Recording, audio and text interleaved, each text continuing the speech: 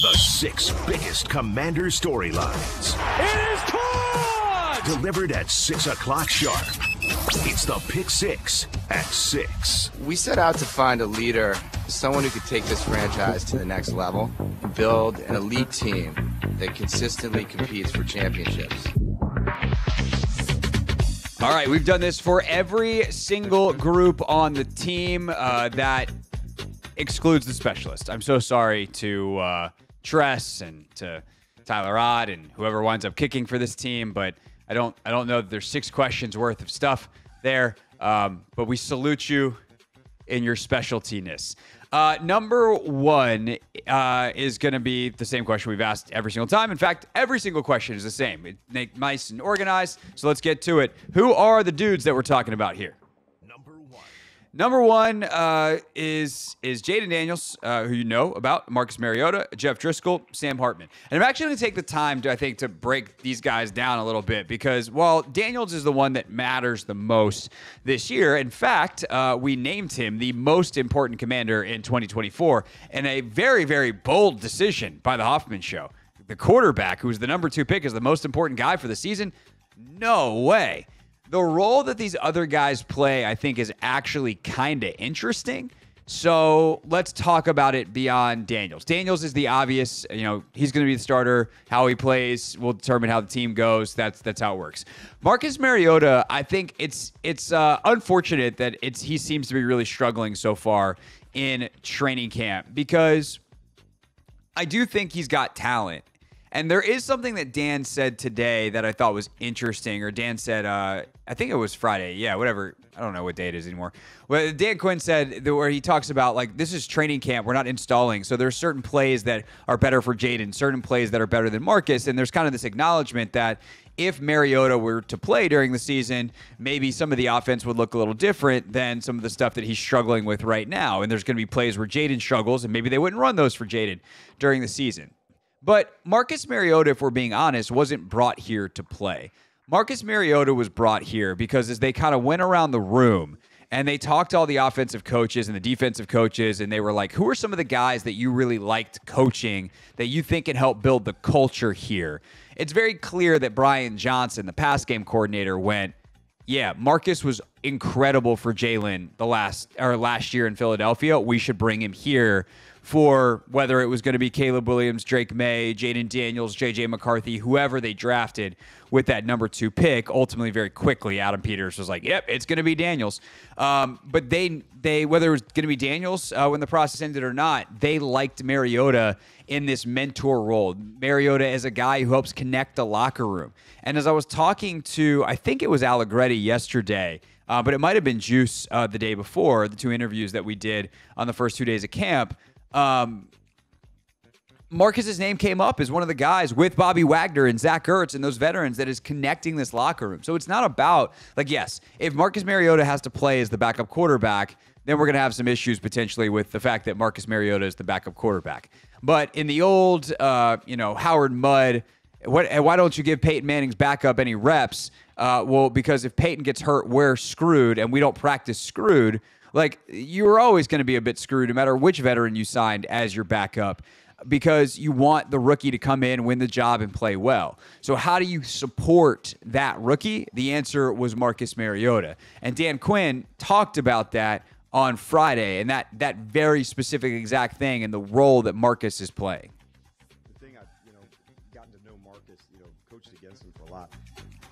You don't know when you coach against somebody what, what the man's like and so he has got just a like absolute presence about him. You know, teammates they're drawn to him. This quarterback room really has the makings of something very special, very unique, and in different ways. Jayden's spoken about it. Marcus has spoken about it. Tavita has. Kliff has. So their connection together, um, you feel that, you hear that from them. But uh, the fun part about coaching, or one of the fun parts, is finding the specific things that people do well. And so when you're in a training camp setting like now, you're installing plays not always specific to a player. And so if you were just to put a line in, these might be the you know 10 or 15 concepts that Marcus does best. This might be the 10 or 15 that Jayden does best. These are the same with Jeff. And so that's how you would do a game plan. That's different than a training camp install. And so learning what guys do as you're going through practices, man, that's a good play for him. That's that's what the fun of putting the big puzzle is together. But uh, I didn't know the leader. You know, you had heard so many things um, from him uh, or something about him that he was good. Um, I spent a lot of my off season in Hawaii, and I see people, you know, tell Marcus I said hello. I said, oh, I didn't know you know him. Said, I don't but that's how they feel about him back home as well. And so I thought, what a great um, line for that. Hey, tell Marcus hello. No, I didn't know you know. I went to a camp one time. He was there. And so the connection that he has um, away from the game with his teammates is really strong too. And that's what you're looking for out of Marcus Mariota. You're looking for a guy who is going to connect the team top to bottom. A guy who can be a resource even if he is not the world's greatest executor. And look, I would love if Marcus Mariota got the chance to play if he proved all of us who were crushing him wrong. Or really because it's not even that we're crushing him, right? It's it's we're we're looking at what we see on the field, and what we see on the field isn't good. Like he dirted a couple balls today uh, in training camp, and you're just it's the reality that he's he hasn't been crushing it. He did not have a productive spring as a player, but his value to this team if this team is at its best, is not going to be as a active on the field in between the white lines football player. And he is critically important to the room, critically important to Jayden's success. And I think this is something that is true with young quarterbacks all across the league. Who are your vets?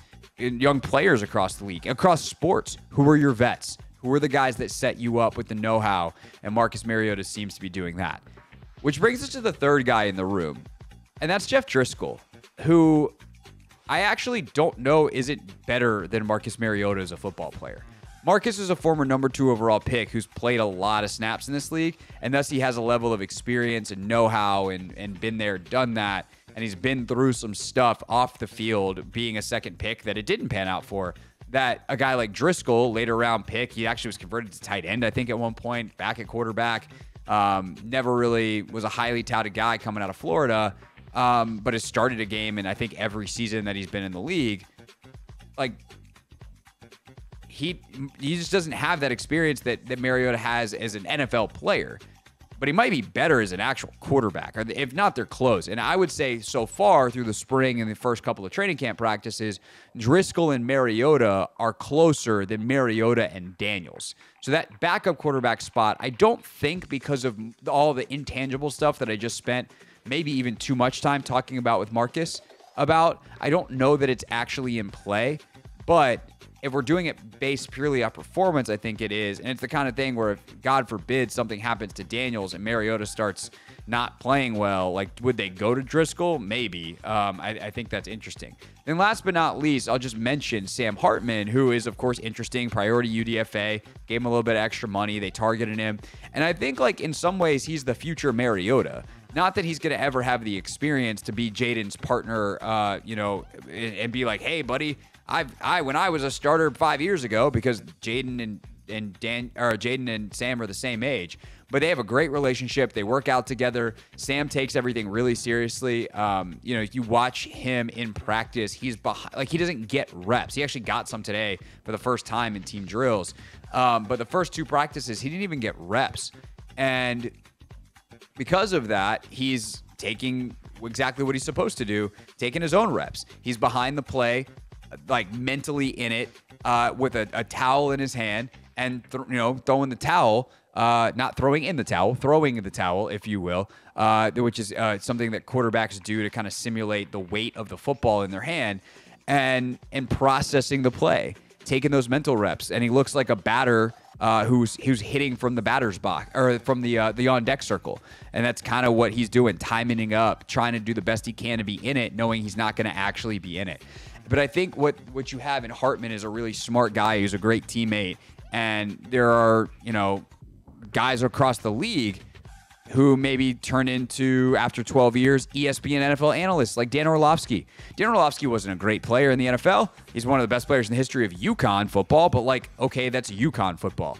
Um, and Hartman was a pretty solid. I mean, Notre Dame's got a better history than UConn, but um, you know, pretty solid. Uh, uh, he was a solid college quarterback, but Is he going to be able to do it in the NFL? No. Could he be valuable and have a decade plus career in the league because he's really smart and he's he's the kind of guy you want in a meeting room, someone who might see something on tape or be able to explain something in a different way that still has the touch of a player but maybe the the knowledge level of a coach.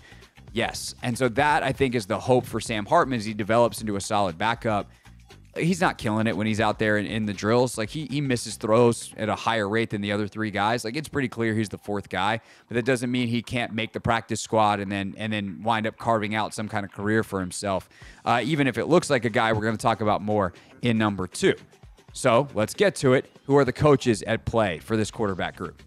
Number two starts with Kliff, former quarterback himself known for being a, a, bit of a quarterback whisperer, a guy who has had great success with a lot of different styles of quarterback. And of course, in the NFL, he and Kyler really worked well together. And I think people need to take the one, the reputation that Kliff had, two, the way it ended in Arizona, and separate it from the reality of what it was, which was three pretty darn good offensive years and then a disastrous injury year that ultimately leads to, I think it was a 4 and 12 record and Kliff getting fired. But like the Cardinals were pretty good record wise, even. They made the playoffs. Like, they had struggles late in the year and got blown out in playoff games. And, like, I'm not telling you that Kliff was actually an awesome head coach who got screwed in Arizona. Um, although I will say it was interesting. When we talked to Zach Ertz on Take Command, uh, you know, before camp started, he was not happy with how things ended for Kliff in Arizona. So I think a lot of the players really liked Kliff, which tells you something. Certainly Zach Ertz, who's been around a time or two, uh, you know, in this league, he's he he's a big fan of Kliff. So that is that is what it is.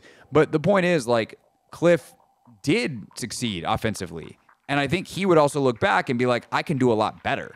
That some of the areas where we ultimately did fail in Arizona, I know and have identified some of those things, and we're to find out. But the other big, you know, coaching influences here, I think, are what's most interesting about this staff when it comes to the offense, when it comes to the quarterback. There are so many different thought processes in the room and we're not going to talk a ton about Anthony Lynn here, but like him coming in as an as a different stylistic guy with the run game stuff and how that matches with the pass game, like that's interesting. Obviously, Brian Johnson is a huge influence here. Former quarterback himself, been Jalen Hurts' guy in Philly, was a bit of a scapegoat by what everyone says last year. Like really Sirianni tried to put his his prints on things after Shane Steichen left, and it did not go well, and Brian Johnson wound up getting fired for it. But a lot of people around the league still really believe in Brian Johnson, think that he was a huge part of the success of Jalen two years ago in the MVP caliber season. Um, and what he brings in terms of quarterback run knowledge, what he bring, brings in terms of vertical passing game, some of the stuff that Philly's been really good with Hurts in, does mesh really well with Kliff, and how that comes together is is fascinating. Uh, obviously, Tavita Pritchard, brought in by Eric Bieniemy last year and held on to. He comes from a West Coast offense background. What does he bring to the room? What does he bring to the coaching style? What does he bring in terms of the relationships? How does he meld with all these guys? They seem to be getting along great. It seems to, that they have a great room. And then the last guy is is kind of the Sam Hartman whisperer. His job is in part to develop Sam Hartman but he brings kind of this bridge because he was an active player last year. His assistant quarterbacks coach, David Blough, who was under Kliff in Arizona, was with uh, Jared Goff last year in in Detroit, and is just known as this wizard-like, super brain guy who is now learning how to coach. And and Dan Quinn was actually asked about Blau's progress and his role within the staff. Yeah, and all of these are new for him as well as he's going through it. And so he's also really involved, you know, with Sam and that development plan too. So knowing this is what we're going to do this month, and we laid out everything that looks like for Sam to go. But um, much like you do with a player, um, we're not just developing players, we're developing coaches too, and we're not going to miss one step with a guy like Dave or William Gay or Sharrif or Ryan Kerrigan that are ready to take these moves together because the good part about something like that, one of the good parts, is they've seen the game through the lens of the helmet. And so for a guy at quarterback who's done that and seen that, he also knows what development looks like. He knows what starting looks like, what being a backup looks like, the, the good and the hard with that. And so he's got this unique perspective that I want him to be able to share with those guys because it's not one size fits all. So he's off to a great start with us. I love that in general, away from the quarterback stuff, uh, is is Dan realizes like you have to develop coaches, and I will, I will forever remember asking Ron last year in the spring, basically, hey man, you delegate a lot. Uh, what is it that you're doing now?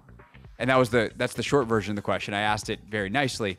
And Ron was like, "Well, that's actually a great question." And one of the things that he tried to answer with was, "Well, I'm, I'm coaching coaches. I'm, I'm trying to try to develop coaches more this year." And uh, didn't go great. Um, I think that's something that a head coach maybe should have been worried about earlier in his tenure, and uh, also probably if he was more effective. Anyway, we don't need to beat up on Rivera.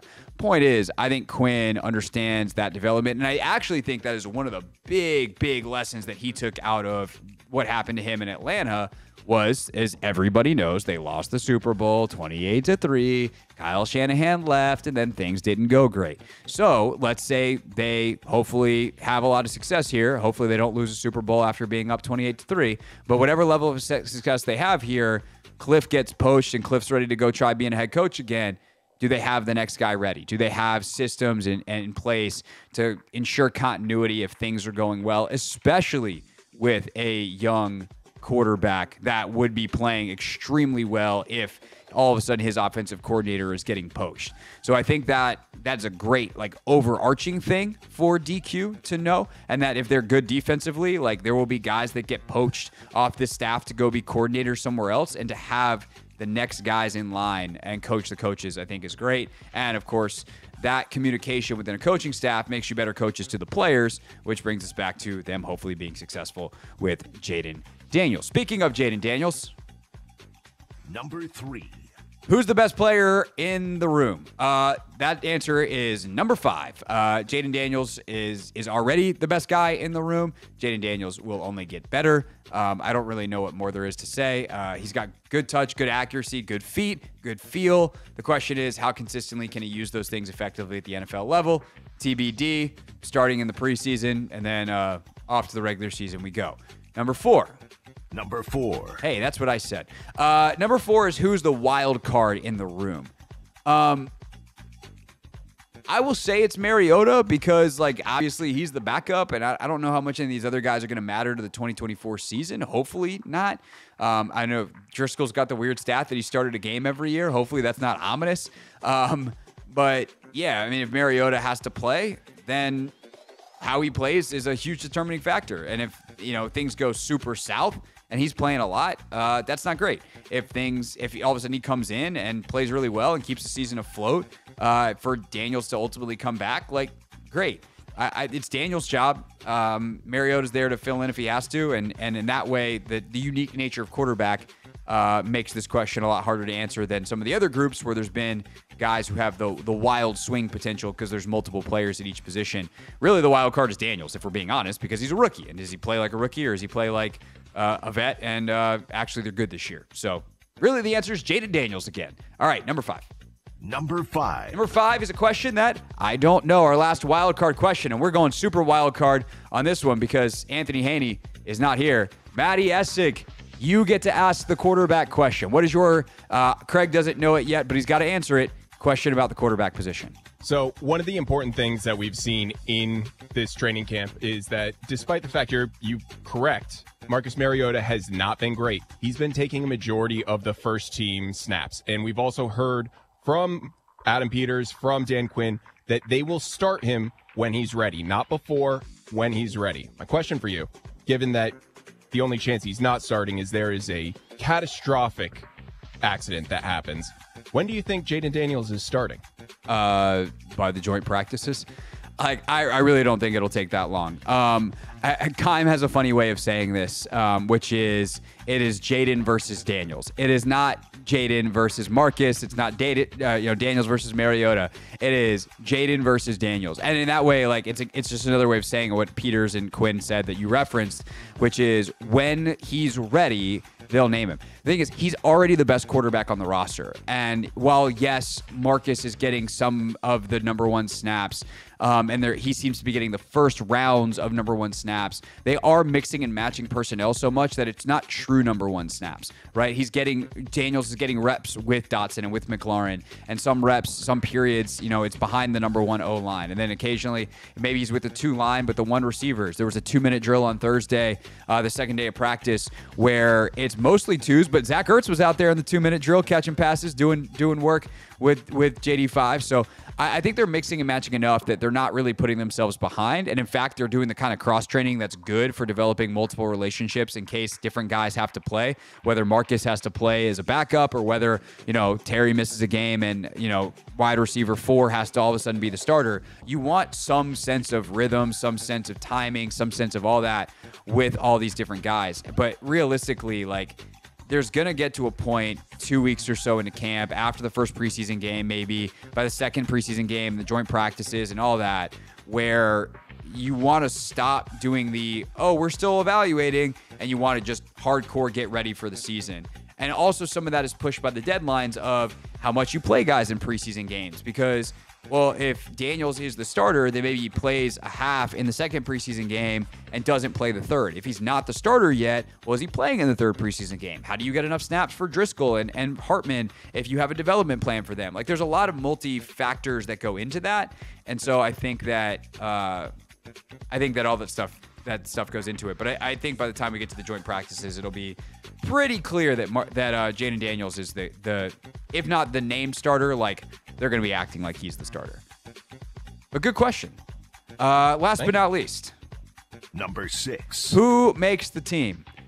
I came into this spring thinking they'd keep three because that's what most teams do now, and you have the third whatever on game day. I don't know that they're going to do that because I don't think they can. Like, I do think a guy like Driskel might be a little hard to get to practice squad, even as a veteran. Like, you know, is there another team that signs him as a backup? Uh, is he always going to be at risk of being poached? Yes. Hartman, very easy to get to, to practice squad. No one is, is signing Sam Hartman to their active roster. Um, I would not. I would think anyway. I mean, I guess someone could be like, "We love that dude as a developmental project. We'll we'll put him on our 53 as a uh, as a you know, inactive quarterback every week, but that would be a stupid use of a roster spot. Um, so because there's so many guys at other positions, though, I think that they can only like stand to carry two. You need that roster spot. So I'm going to say Daniels and Mariota. They make the team. Driskel hopefully can get to practice squad and is around. Hartman practice squad and is around. And that's the room. Um, the, the veteran practice squad stuff is really helpful now I don't want to give up Driskel if I can. Like I like having him around as another option if all of a sudden something happens and, and you need a backup quarterback to play. Again, especially with how they've played. But I, I, think to go back to where I started and where I spent a lot of time in this segment is to not just repeat the same stuff about Jayden Daniels and what he does well and and you know all the same stuff we're gonna be talking about at nauseum. The the value of Mariota, the dude in the room, the experience, all that kind of stuff as a mentor to Jayden is why he's going to probably stay above Driskel. And so I think those two make the roster. Team 980 and the Audacy app.